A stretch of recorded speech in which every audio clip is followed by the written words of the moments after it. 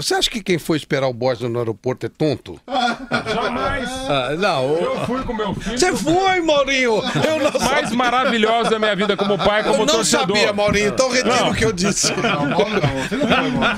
Olha, só um detalhe, é muito boa a montagem aí do Silvio na tela. Olha lá, não, entendeu? o cabelo era ainda. O meu cabelo é mais flex que qualquer outra coisa, mas só o cabelo é flex. Fui, eu acordei, era, era 10 para 5 da manhã, fomos lá e o meu filho, o Gabriel, meu caçula, e foi maravilhoso.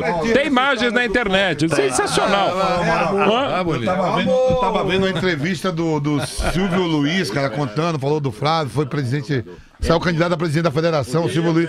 Eu não acredito, o Silvio Luiz falou também, você foi lá mesmo pra ver o. Com tanto jogador. Não, não Não acredito. basta ser pai, tem de participar, pô. aí. E o bicho vai pegar.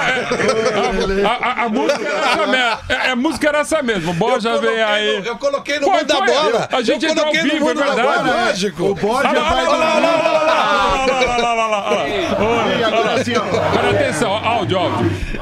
Olha lá. Põe o áudio, põe o áudio. Olha lá. Aí, o bicho vai pegar. O Borja vai dormir e o bicho vai pegar agora. É. Meu Deus do céu. Não, você pode adaptar a frase. O Borja vem aí, o bicho vai. Eu tenho, um segredo pro ar dar certo. Comer o feijão do copete, cara. Cara, o Copete já é o maior artilheiro estrangeiro da história. Zé,